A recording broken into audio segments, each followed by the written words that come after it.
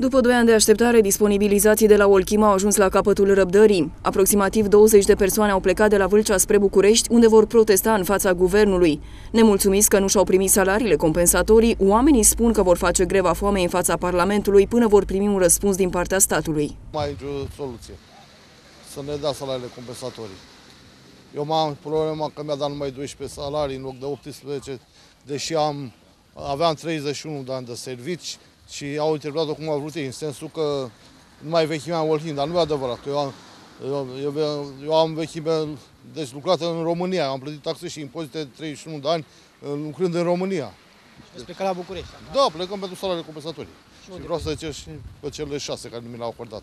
La cine vreți să ajungeți? La Ponta, Victor, la primul ministru. Credeți că vă va da un răspuns favorabil? Sau? Acum, noi credem, sperăm, cel mai rog, că nu să știe dacă vrea să ne primească.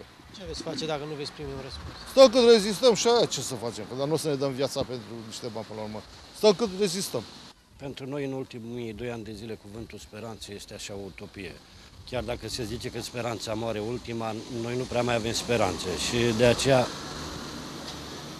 să zic că ultima speranță rămâne această formă de protest, greva foamei, împotriva abuzurilor, împotriva bătăii de joc și a umilinții la care suntem supuși de 2 ani de zile de administratorii judiciari, împreună, probabil, cu Guvernul României.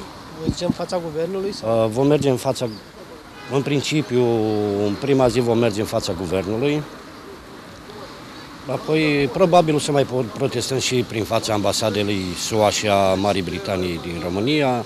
Probabil o să mergem și pe la, prin fața Palatului Cotrocenii, uh, adică aproape la toți,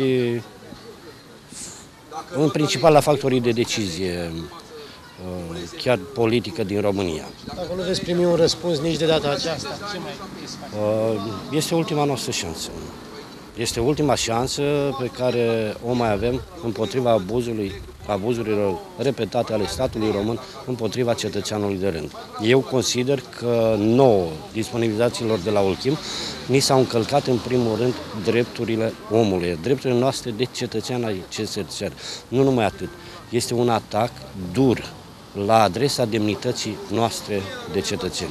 Pentru drepturile noastre, așteptate de 2 ani, sunt restanțe salariare legale, E dreptul nostru, munca noastră și trebuie să uh, acest gest extrem care trebuie. Eu cred că fără sacrificii nu se poate. Noi sperăm să ajungem la domnul Iohannis, sperăm să ajungem peste tot. Sperăm să ne facem auziți.